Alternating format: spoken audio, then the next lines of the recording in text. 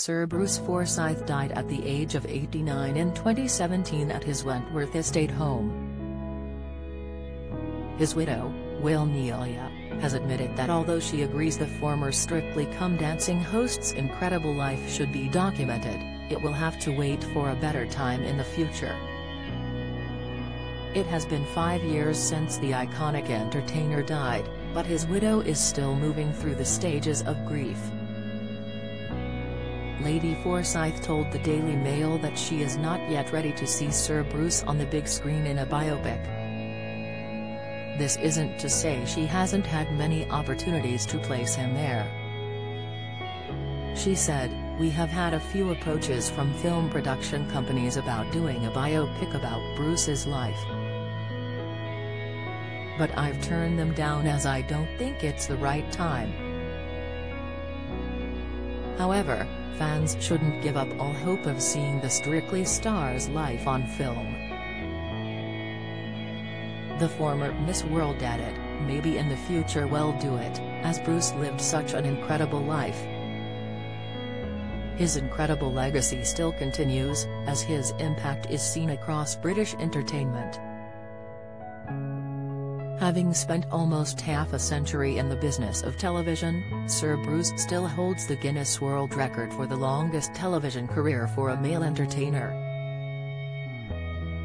Throughout his extravagant career, Sir Bruce also had a thriving personal life, accumulating six children, nine grandchildren and three wives, Sir Bruce was first married to Penny Calvert in 1953, just before he came to national attention through the variety show Sunday Night at the London Palladium. The entertainer had three daughters with Penny before they got divorced in 1973 and married the Generation Game host Anthea Redfern in the same year. Don't miss, together, Sir Bruce and Anthea had two daughters before they divorced six years later.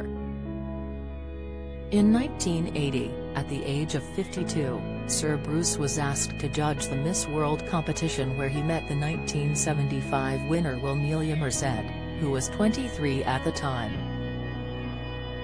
Sir Bruce and Lady Forsyth got married in 1983 and had one son together, Jonathan. Although the entertainer had plenty of progeny, he left almost all of his £11 5 million fortune to his wife at the time of his death according to the Daily Mail, including his stately home.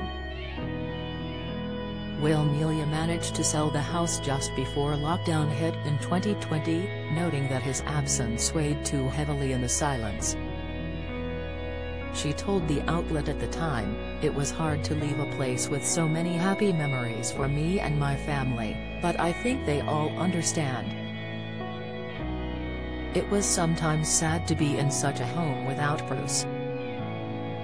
The outlet also reported that he had left nothing to his six children, but had placed £100,000 in a trust fund to be split between his nine grandchildren.